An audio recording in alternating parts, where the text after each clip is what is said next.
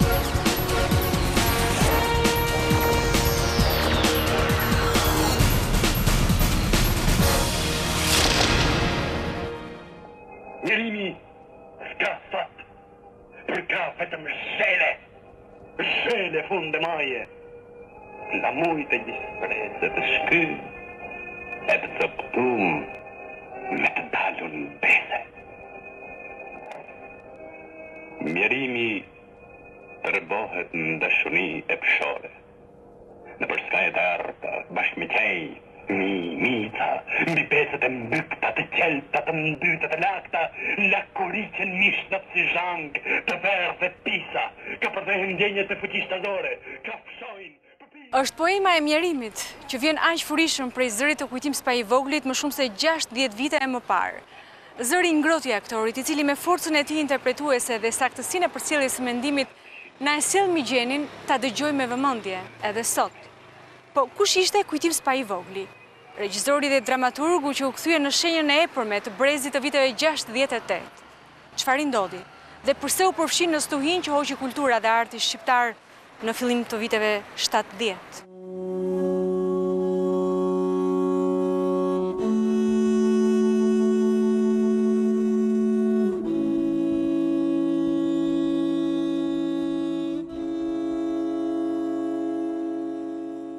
Kujtimin e kam pasur pedagog.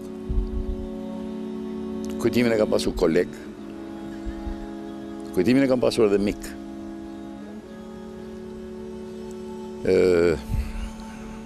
Ai i takon asaj plejade artistësh edhe regjizorësh që prunë shkollën profesionale në teatrin shqiptar. Dhe për herë të parë regjizura u, u fut në rrugë profesionale deri aso kohe pa ardhur kjo plejade re që vinte nga bangat e vendeve ish-socialiste, kryesisht nga Moska, Budapesti, Praga, Bukureshti, ishte në nën influencën e një shkolle amatoreske.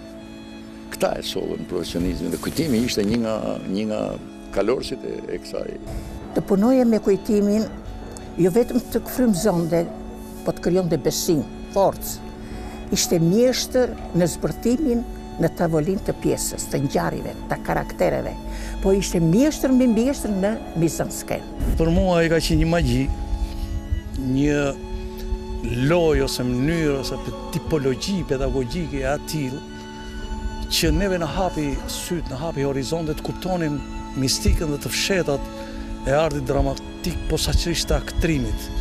Ai punonte mjaft mirë me sistemin e Stanislavskit, pasi ishte produkt i shkollës Gitis të Institutit të Lartë Shtetëror në Moskë, e mbaroi në pesëdhjetë e gjashtën dhe ka qenë themeltar i gjithë pjesës dramatike në Institutin e Lartë dhe ky ishte shefi i degës dramatike që quhej, solli në mënyrën më të moderuar dhe më të bukur të mundshme metodologjinë artistike, aktoriale, teatrore ruse dhe e implementoi në gjithë programin shkollor. Ai ka vënë shtyllat e teatrit ose shtyllat e shkollës shqiptare të teatrit.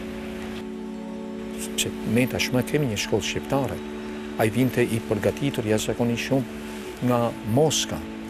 Bile unë e kam parë vetë, kam pas fatin që këtë punë e kam parë, kur një gazetë ruse, po pse s'po themi Bashkim Sovjetik, sepse, kur një gazetë ruse shkruante për një profesor edhe për një aktor dhe regjisor të madh rus, për studentët dhe për aktorët që ai ka nxjerrë në jetën artistike, Dhe pasi përmendte disa prej tyre, përmendte në fund fare dhe studentin brilant shqiptar Kujtim Spahivogli, e shkruajtur në rusisht. O tokë e lame djersë, e lot, e gjak, o tokë e ambël dhe e idhët, o toka ime, Po të puth një plak Me buzën që i dridhet Një plak që është ringjallë Që në pleqni fitoi dhe njiherë rininë Por ti je urtë M'i ban hallall Padijen ngurrimet Kryeneçësinë O ju të ri, që rroni në këtë vend të lirë njëherë e mirë, kujtoni etnit tuj, që në dhe të vet luftun, si në dhe të huj, veç për një koje bukë, o jo për tortë.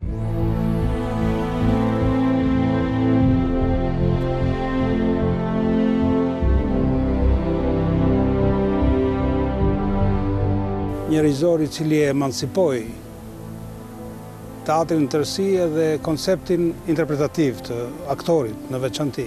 Pata fatin që të punoj me të në Teatrin e Rinisë që u krijua atëherë në Akademinë e Arteve.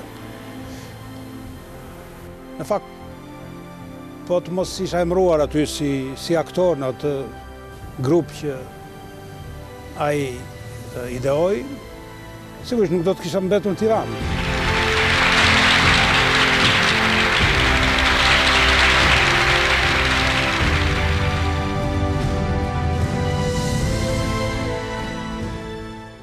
Studenti gjithmonë i krahason pedagogët. ka këtë mundësi dhe në momente të caktuara ai di të vendos, di të bëjë renditjen, klasifikimin. Ai gjithmonë ishte në krye të listës. Domethënë një pedagog i jashtëzakonshëm. Jo vetëm nga ana profesionale, domethënë si njohuri për teatrin, për filmin, për gjithçka që ishte për dramaturgjinë, por në radhë të parë ishte edhe metoda pedagogjike. Ai ishte, ndonëse sot këto quhen si paradokse, po ishte vërtet shok i jashtëzakonshëm i njerëzve të thjeshtë, të zanatçinjve, të punëtorëve të thjeshtë, tavolinat e tij ishin gjithmonë përkrah këtyre njerëzve. Bile edhe si pedagog, më bënte përshtypje kur pranoheshin studentët në shkollë, ky kishte prioritet pikërisht fëmijët e këtyre njerëzve. Sinjor Bruno, mua s'më gënjen dot. E di fort mirë profesionin tënd. Ha ha ha, qerrata, i shkathët je. Mos u zgërdhij, fol hapur me mua. Edhe mirë, mos merr zjarr kaq shpejt. Kujtim Spahivogli u lind më tridhjetë korrik një mijë e nëntëqind e tridhjetë e dy në Lushnjë. Studimet e larta për teatër i kryen shkëlqyeshëm në Moskë në vitin një mijë e nëntëqind e pesëdhjetë e gjashtë. Ishte një ndër studentët brilantë të ardhur nga Bashkimi Sovjetik.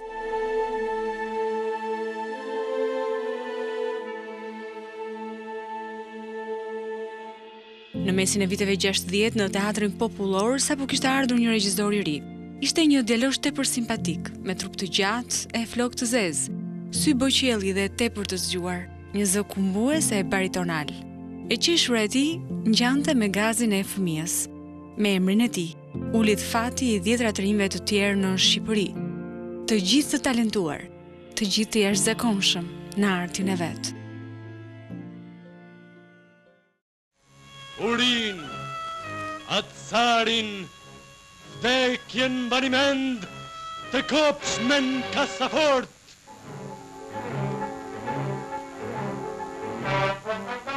Mishin ia gërrynë Shqipnisë me dhambë gërrhane Të huajt dorën i shtrinë e i hapën portë Mjaft që të dyndte bisha zogolliane Të pangopshmen kasafortë!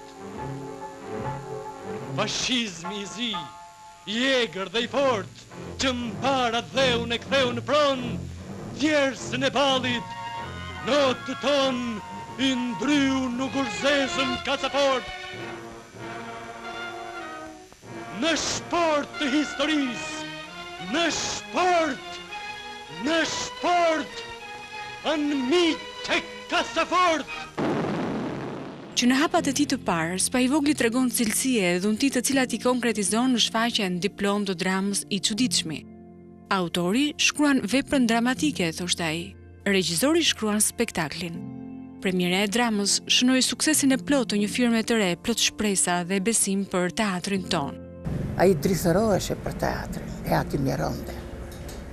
Falë talentit të tij, mençurisë, pati fatin të bëjë dhe një shkollë në Bashkimin Sovjetik në Moskë, ku pati si pedagog të madhin Zavadski.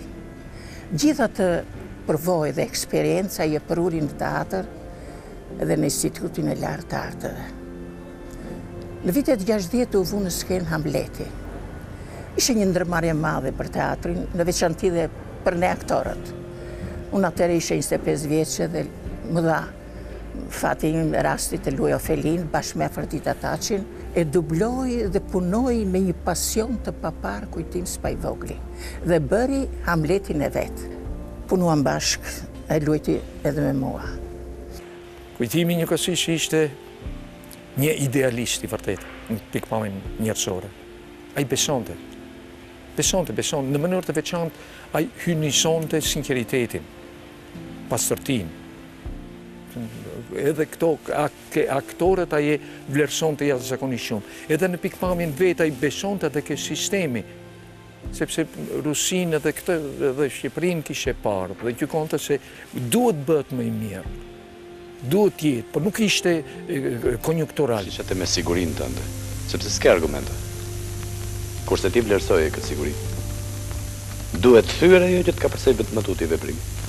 Çka e përsëriti në një shkallë shumë më të lartë në shtatëdhjetë e dyshin me një ngjarje që u shënua si ngjarje teatrore kombëtare, Me Karnavalet e Korçës, në Teatrin e Shkupit dhe të gjithë ata që më dëgjojnë dhe që janë brenda teatrit e dinë se çfarë qe ajo shfaqje, ne jemi mahnitur kur e kemi parë atë, sepse ai futi për herë të parë në teatrin tonë brenda suazave të ngurta dhe parimeve të rrepta, të realizmit socialist, ai futi kukullat, futi groteskun. Në atë kohë u vu në skenë ke ne në teatër Orët e Kremlinit, me regjizor rus Vladimir Bortkon. Kujtimi ishte asistent, po ashtu Zina Andri, po ashtu Andrea Malo. Regjizori sovjetik i tha Kujtimit të lutem i dashur do të ma ndërtosh dikte. Kujtimi e mori Për një ditë katër orë mori karrigen në skenë edhe filloi të demonstrojë të gjithë se ishin mbi pesëmbëdhjetë veta.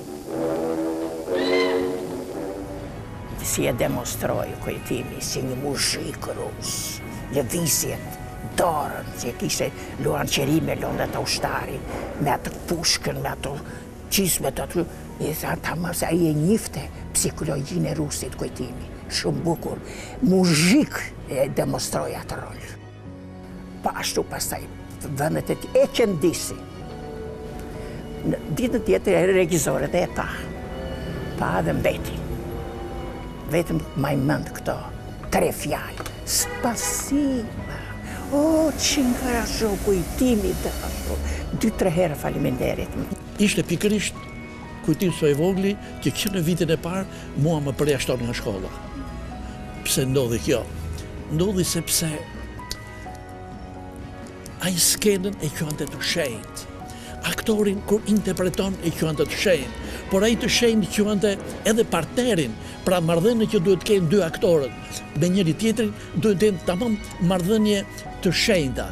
Por unë bëra një gabim, sepse në një moment të caktuar, kisha një interpretim në një etyd, si i quanim ne, kisha një interpretim me një kolegen time, shoqen time, dhe asaj i thashë, shiko, do bëjmë këtë, këtë, këtë, këtë, këtë, i tregova tërë subjektin, dhe në moment të caktuar, i thashë, vetëm ki parasysh një gjë, ti nuk duhet të hysh në këtë moment, dhe do ti, ajo hyri pikërisht në atë moment, që nuk duhet të hynte. Edhe unë shumë i nervozuar, domethënë që si më prishi kjo pjesën, isha që me një beretë, që hoqa beretën dhe ia përplasa. Domethënë e ndërpreva. Skandal. Domethënë një gjë që nuk duhet të ndodhte, aq më tepër neve që ishim në hapat e para. Edhe atë kishte parasysh në edukatën që na jepte, se do bëheni artistë, kush di se çfarë jeni, e rëndësishme është Njerëzillëku. E kupton? Të jeni në radhë të parë duhet të jeni njerëz, sepse ai e donte shumë këtë, sepse ishte vetë i tillë në këtë drejtim. Dhe duke më përjashtuar mua dhe duke u treguar dhe të tjerëve me gjithë konsideratën që kam për aftësitë etj etj, ky nuk duhet të marrë pjesë në provimin e ardhshëm. Dhe megjithatë, Edhe atij jam i sigurt që i ka ardhur shumë keq, sepse në të vërtetë unë nuk mora pjesë në provim se isha i përjashtuar, por mua më vuri që unë të prezantoja kolegët, më vuri tamam në rolin e parë të, prezenta, të prezantuesit. Edhe unë rolin e prezantuesit e kam pikërisht nga Kujtim Spahivogli.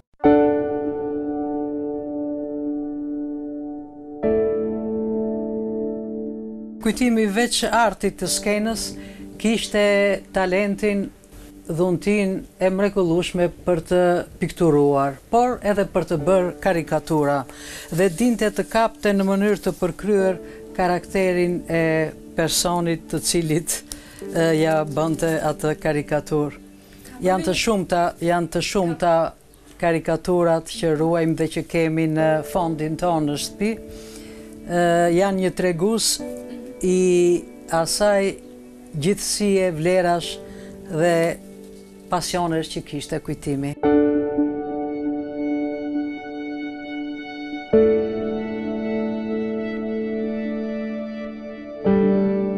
Ky është Kadareja për shembull.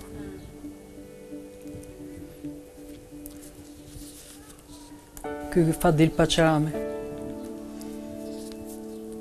Dhe kur dha, kur bëri shfaqjen në Shkup, karnavalet e Korçës, i surprizoi në mbrëmjen e fundit kur do ndahej aktorët, sepse në sallën ku do bëhej darka e ndarjes, këtu ka bërë një Karikaturë, veten edhe mua. Në darkën e mbrëmjes, kur erdhën aktorët, u shtangën kur panë gjithë muri që ishte me karikatura që i kishte bërë Kujtimi aktorët. Secili pa veten e tij dhe ishte një befasi për të gjithë.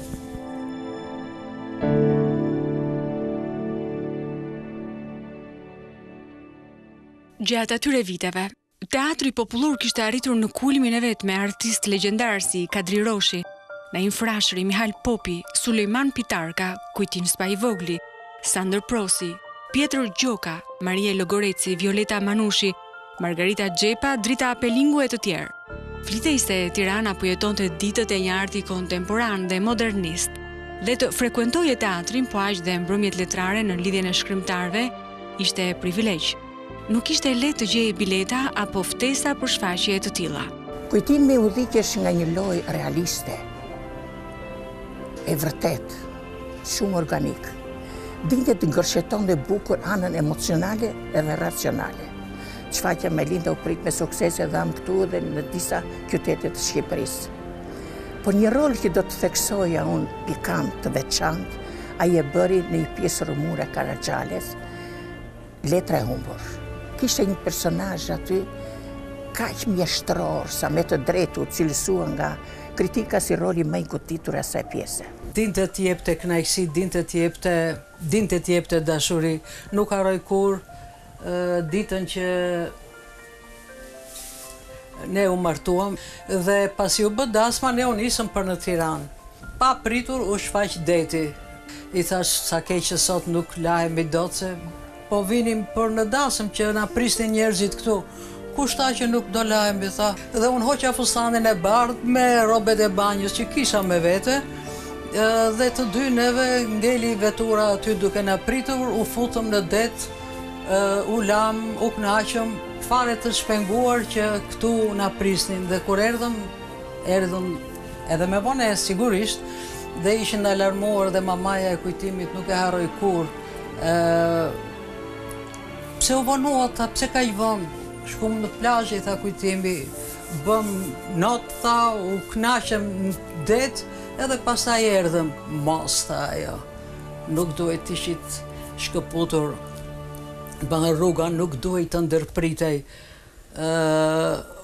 Unë e re, nuk e dija, as s'e mendoja këtë gjë, për mua ishte i bukur momenti, ishte e bukur ngjarja, dhe nuk e mendoja vonë, pastaj e kam kujtuar kush di se sa herë këtë gjë që Ndoshta nuk duhej ndërprerë ajo rrugë që nisi për në shtëpi.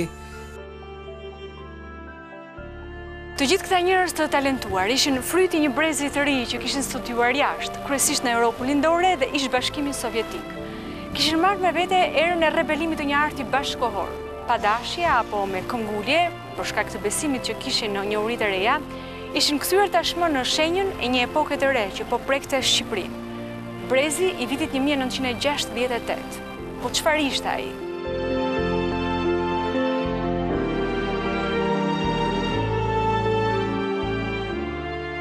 Brezi një mijë e nëntëqind e gjashtëdhjetë e tetë hyri në jetën e shoqërisë moderne me frymë revolte dhe refuzimi estetik, etik, politik dhe social, dhe ishte kjo frymë refuzuese e këtij brezi në disa prej vendeve perëndimore që mori dhe karakterin e lëvizjeve masive. Pa sloganet, lëvizjet, manifestimet, sfidën që veproi kryesisht në një mjedis parapolitik, është thuajse e pamundur të përfytyrohet nisma e shumicës së shteteve të Europës në plotësimin e përgjegjësive për kultin e lirive njerëzore që ishte njëherësh dhe kundërvënia më e madhe ndaj kultit totalitar të individit.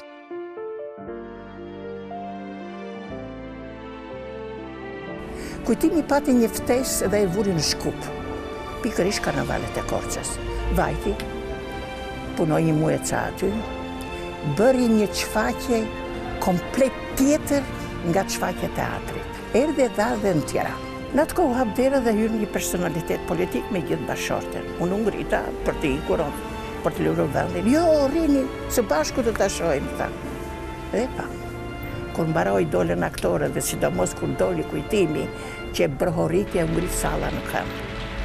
Duke zbritur shkallët në mbarim të shfaqjes, dolim në oborr edhe Kujtimi doli nga skena edhe ky personaliteti politik i tha.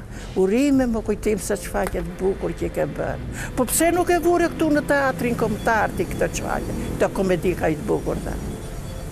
Kujtimi e pa, uli kokën, qeshi dhe tha, po ku të lini ju, tha, ta vë unë këtë shfaqje këtu, tha. Ky bashkëpunim vinte, ishte shumë i brishtë. politikisht të dyja vendet kishin probleme. Por, kjo qasje ndaj teatrit dhe kjo rrugë që Kujtimi lidh mes dy dy etnive, ose një etnie, por në dy shtete të ndara, solli një risi. Solli risi jo vetëm se Kujtimi vuri një shfaqje shumë të suksesshme, Karnavalet e Korçës, Por, marrëdhënia që krijoi me atë trupë, ajo trupë pothuajse ishte amatore, e vuri në fokus të të gjithë kampit jugosllav. Kujtim Spahivogli qe ai që kur qe në në Akademinë e Arteve, në atë kohë konsiderohej si Instituti i Lartë i Arteve dhe ai ishte dekan i fakultetit tonë, Ai krijoi dhe teatrin, teatrin e të rinjve, e quajti, po natyrisht sistemit sikur i tingëlloi pak sa kaluar, si thua, kufijve moderne dhe e konsideroi si teatrin e Institutit të Lartë të Arteve. Teatri i Rinisë erdhi si rezultat edhe i nevojës që kishte spektatori kryeqytetas, të rinjtë që të ndiqnin teatrin dhe pati një konkurrencë, po e them kështu, midis Teatrit Kombëtar dhe Teatrit të Rinisë, në atë kohë, ne vumë pjesën e parë që e shkruajti ai vetë, një shok i klasës tonë, me një kast shumë interesant, duke nisur që nga Robert Ndrenika, i cili ishte emëruar në teatër së bashku me mua, me Gëzim Kamen, me Zija Grapshin, erdhi dhe Vaçe Zela. Ajo luajti rolin kryesor përkrah meje. U paragjykua në një moment sepse ishin dhe ishte në vigjilje të plenumit famëkeq. Kujtimi është është themeluesi i Teatrit Petro Marko të Vlorës. Ai me këtë shfaqje, këtu është platforma regjizoriale, ë Titulli Fundosja e skuadrës dhe këtu janë të gjitha shënimet si e ka konceptuar dhe si i ka zbërthyer personazhet, mendimet, idetë, lëvizjet. Mënyra se si ai i ndërtonte shfaqjet qenë shumë të veçanta dhe këtu spikati qysh me Dramën e parë, Ngjarje në fabrikë, paçka se ishte një dramë me mbingarkesë ideologjike, po mënyra se si ai e vuri në skenë me një kor të madh punëtorësh në një mbledhje dhe duke përdorur retrospektivën dhe një harmoni midis masës dhe individit, Ai ndërtoi me të vërtetë një shfaqje novatore që pati një shikueshmëri të jashtëzakonshme për kohën. E për këtë frymë liberale që kish marrë jeta në art në Tiranë, aty ku po zhvillohet kultura e vërtetë, institucionet e pushtetit të fshehtë ishin mobilizuar për të informuar hollësisht se çfarë po ndodhte në Lidhjen e Shkrimtarëve, në Teatrin Popullor, në Radio Televizion e të tjera institucione. Por, Kujtim Spahivogli ka qenë dhe dramaturg dhe ka shkruar disa drama, ku spikati posaçërisht me dramën Një shok i klasës sonë, ka disa vepra, aty kam luajtur dhe vetë. Dhe ajo ishte një dramë që e rrëmbeu rininë e kohës. Ne kemi qenë fare të rinj dhe në atë sallën e bibliotekës zhvilloheshin mbledhje kundër tij. Erdhën emisarë inkuizitorë, do thoja të Komitetit Qendror, të cilët e akuzuan si një bashkëpunëtor të Fadil Paçramit, sepse Fadili në atë kohë ishte goditur, dhe sigurisht ne u përpoqim ta mbrojmë, aq sa mund të kishim mundësi ta mbronim. Në relacion flitet për shkrimtarë liberalë e konservatorë, për grupime dhe tarafe të njëri tjetrit, Paralajmërohet padyshim se diçka do të ndodhë. Relacioni përmend dhe emra artistësh që merrnin shtyp të huaj për ngritjen e tyre kulturore. Vetëm dy javë pasi ishte zhvilluar festivali i 11, në 7 janar 1973, në një mbledhje të kryesisë së shtetit, Pasi mbylli rendin e ditës, Enver Hoxha, duke përmendur një seri letrash të ardhura nga rinia e Lushnjës dhe e disa qyteteve të tjera, e dënoi publikisht festivalin e njëmbëdhjetë dhe aty gjithë gjendjen kulturore në vend. Një mbledhje tjetër që është mbajtur në majin e vitit shtatëdhjetë e tre me temë Mbi dramaturgjinë, referuesi kryesor Dritëro Agolli, thuhet shprehimisht se disa shkrimtarë janë me shfaqjet e tyre, me veprat e tyre, janë ndikuar nga liberalizmi, nga shfaqjet e huaja. Dhe shkrimtarët, kryesisht, që goditeshin për shfaqje të huaja, është edhe Kujtim Spahivogli dhe i përmendet drama Një shok i klasës tonë. Dhe thuhet shprehimisht, në dramën e Kujtim Spahivoglit, bje erë, thotë, liberalizm, dhe ai me atë pjesë predikon shthurjen morale të shoqërisë tonë. Këto mbledhje vazhduan deri në muajin qershor të atij viti dhe pothuaj një pjesë e mirë e artit shqiptar u godit rëndë ishte edhe pjesa më e shëndetshme e saj. Kur u bë plenumi i 4 i Komitetit Qendror për Letërsinë dhe Artet, ka patur një skenar. Dhe skenaristi ka qenë ai kolosi, komandanti. Domethënë,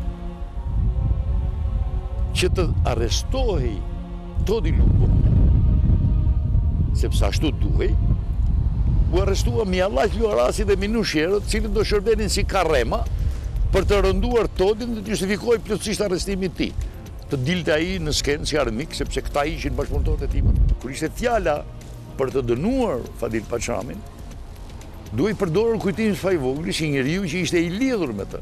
Në të gjitha dokumentat e Arkivit Qendror të Shtetit, Fondi i ish-Komitetit Qendror të PPSH-së, unë kam pas mundësi për të parë, për vitin 73-74, që ka qenë fushata kundër shfaqjeve të huaja liberale ndikimeve, që thonë atëherë, në art, kulturë, letërsi, përmendet shumë Kujtim Spahivogli. Por ai duhet dënohej sepse duhet dënohej Fadil Paçrami.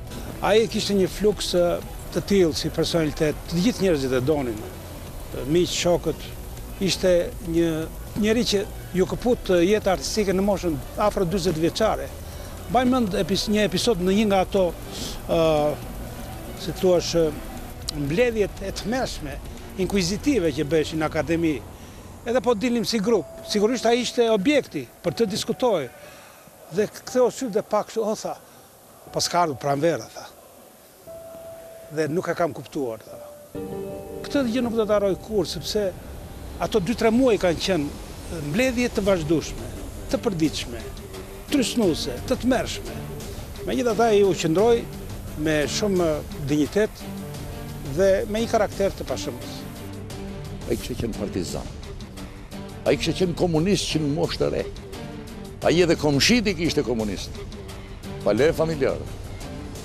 Po ishte ishte një, ku di unë, ishte një njeri sa i mençur, po aq edhe naiv. Kish marrë diçka nga anarkia e rusëve, nga rebelimi i rusëve, sepse studioi atje në akademi për 5 vjet. Pas kësaj, erdhi edhe dënimi. Kujtim Spahivogli u degdis në Fier për të punuar në prodhim si punëtor krahu sipas formulës kineze për riedukim. A di kush është momenti më naiv i tij, kur jam takuar për herë të parë unë me Kujtimin, jemi takuar në qendër të Fierit. Përpara turizmit, ai sapo kish ardhur, po naiviteti e shtynte të thoshte edhe çudira. Unë isha më me këmbë në tokë në ato momente, se unë kisha kohë që kisha filluar punën si punëtor për riedukim në Patos, më kupton. Kurse ai sapo kish ardhur, s'kishte ditë. Edhe, tha, do të pimë një kafe, po patjetër, edhe pimë një kafe. Mos u mërzit, më tha. Mos u mërzit. Punë ditësh kjo, tha. Unë do filloj punën si regjizor tani në teatër, tha. Edhe do vej një çfaqje, tha, atje do të vinë këta të mëdhenjtë e Fierit, tha, edhe do bisedoj me ta, dhe për 3-4 muaj do kthehesh në teatër atje ku është vendi jot, tha, kështu që më shumë se nuk është ndonjë gjë, partia ka zemër të madhe, domethënë. Më këto, nuk i flak njerëzit në rrugë, kështu siç mund të gjykojnë të tjerët. Edhe të nesërmen kish vajtur në komitet të partisë, që bisedonte me ta, nuk e kishin lënë të futej në ndërtesë. Por po i thonë do shkosh në komitet ekzekutiv të marrësh fletë pune. Unë fletë pune? Unë jam anëtar partie. Ça je ti, tha, anëtar partie? Atëhere duhet shkosh në Tiranë se ti je dhe përjashtuar nga partia. Dhe ai e mori goditjen kur i thanë që je përjashtuar nga partia.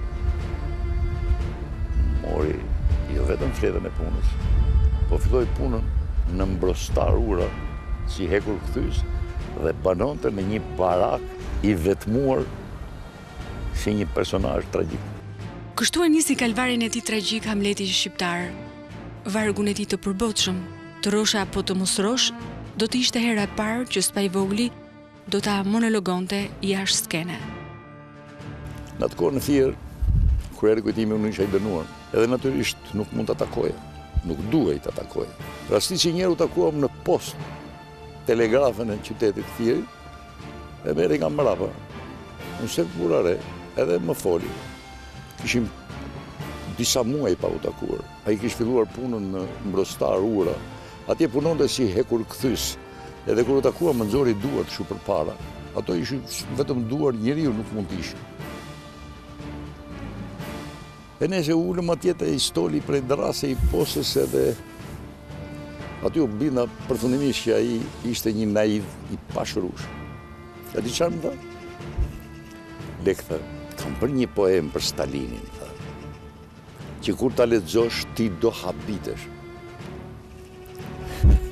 Kujtim, i thashë unë, si ja çon atje, te Ura e Mbrostarit.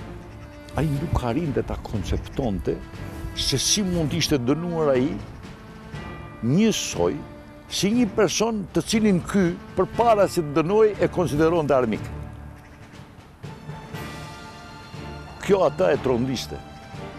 Megjithatë, ai vazhdonte shkruante për Stalin, për Lenin. Kish nisur një jetë të re nën një tronditje të madhe.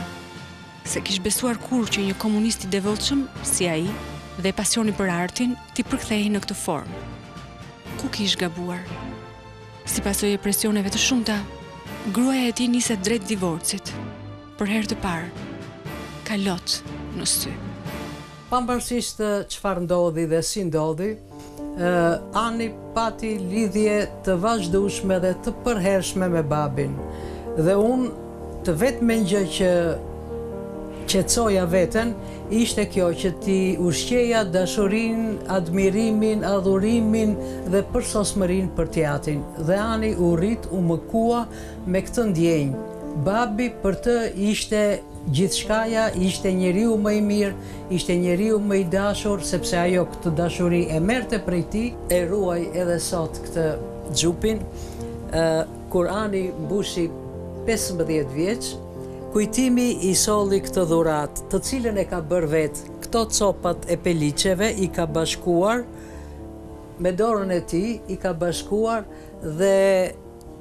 Kishte çuar në rrobaqepësi dhe i solli Anit këtë xhup që për të ka qenë i dashur, i shtrenjtë dhe ne e mbajmë si një nga gjërat më të vyera në shtëpi. Unë udhëtoja me një kamion për në Hoxharë që të ngarkoja rërë, në atë kohë punoja punëtor në Ballsh. Ngarkim shkarkim. Ishte një periudhë prej tre muajsh që më çuan atje. Edhe duke arritur tek vendi ku do ngarkonim rërën, kur shikoj Kujtimin që vinte me një dum-dum, ku janë ato zetorët e vegjël, e ngiste Kujtimi, dhe mrapa kishte nja tre të vjetër në dum-dum. Më pa mua dhe ndaloi dum-dum. Po ti, tha? Thashë, Ngarkoj rërë. Zbrita. Zbrita. Ishte një fik aty. Ka qenë mëngjes, më tha edhe u ulëm atje. Nxori një gazetë, edhe kishte mbështjellur ushqimin, qe dy feta bukë, një vezë të skuqur, një presh, dhe një gjysmë domate. Nuk e harroj kurrë atë menu. E tha, hajde a mba ashtu, i tha atyre treve që ishin në zetor. Shiko, tha, merrni lopatën e këtij, tha, se ky s'punon, nuk di të punojë, ky është artista. Ngarkojeni atë kamionin ju. Ata po e shikonin kështu. Hajt se do ju jap, tha, 20 lek, pini nga një teke. Ata u gëzuan, morën lopatën edhe vazhduan po ngarkonin makinën. Kthehet sërish në Tiranë në vitin 1979, por nuk i japin punë, duke e lënë në mjerim me nënë Durien. Më 1982 e largojnë përsëri nga Tirana, ndërsa një skuadër policësh i shkatërron shtëpinë. Mendimi se edhe kjo stuhi do të kalojë, i qetëson zemrën, por jo shpirtin. Shokët e partisë e këshillojnë të mos merret me art. Po me çfarë do të përpiqet ta mbushë ai gjithë atë zbrazëtirë? Dhe kështu nisi të vuante çdo ditë zemra e tij. Po humbte dashurinë e fundit. Kolla e bronshiti astmatik që e ngacmonte vazhdimisht, ia ndërpriste mendimin. Dhe kjo e bënte shpesh. Nervoz. Ishte mëngjesi i shtatë korrikut 1987. Mëngjesi i fundit i jetës së tij. Ai vdiq duke pritur të bijat. Ishte dita kur takohej me vajzën në apartamentin e vet. Edhe gjithmonë këto i kam me të dëgjuar, nuk është se i di me saktësi, por Kam dëgjuar që skena ka qenë vërtet dramatike, sepse e bija e ka gjetur në dysheme me dorë të zgjatur nga bufeja, nga komodina për të marrë ilaçet. Ashtu e ka gjetur. Ishte një fund i pamerituar. Një njeri që sipas meje ka vdekur. Por hyn te të pavdekshmit. Për ne ishte kënaqësi e veçantë dhe gëzim tepër i madh kur iu dha titulli Nderi i Kombit në dy mijë e shtatëmbëdhjetën. Në këtë botë, paska shumë pak vend për të jetuar si njeri. E për të vdekur, askush nuk të pengon. Këta janë ata që më shkatërruan shtëpinë, e tani kanë marrë përsipër të shkatërrojnë shpirtin tim. Këta janë ata që edhe në mejhane të pi një gotë nuk më lënë. Këta janë ata që edhe një kishë nuk më lanë për t'u lutur. Sistemi i tyre më përgatiti kapele në kohën që më kishte hequr kokën. Ndiqe me vëmendje atë klloun të dështuar, shiko se sa bukur në fytyrën e tij prej arlekini është gdhendur trishtimi. Unë vetë ndiej që jam në zgrip të një humnere, por këngën e kam në buzë. Edhe pse më mungon pranvera ime, unë përsëri kënaqem Me atë të Botiçelit, u rrëfente Kujtim Spahivogli miqve të tij më të ngushtë dhe qeshte fort. Qeshte fort sa po aq fort fërshëllente ngazëllueshëm motivin e pranverës së Vivaldit. Burokratët dhe të paaftët ishin armiqtë e tij, Gjithë jetën luftoi kundër tyre, gjithë jetën u tall ashpër me ta. Ai pikturonte kaq saktë karakteret e turpshme të tyre sa ata kurrë nuk mund t'ia harronin, kurrë nuk mund t'ia falnin. Kujtim Spahivogli ishte artist dhe njeri i përmasave të jashtëzakonshme, mik i përsosur, pedagog dhe novator që eksploronte duke sjellë të renë. u godit në kulmin e karrierës së tij. Por megjithatë, edhe kur e çuan në internim, ai nuk e humbi asnjëherë shpresën se një ditë do të mund të kthehej përsëri pranë grupit të tij të regjizurës.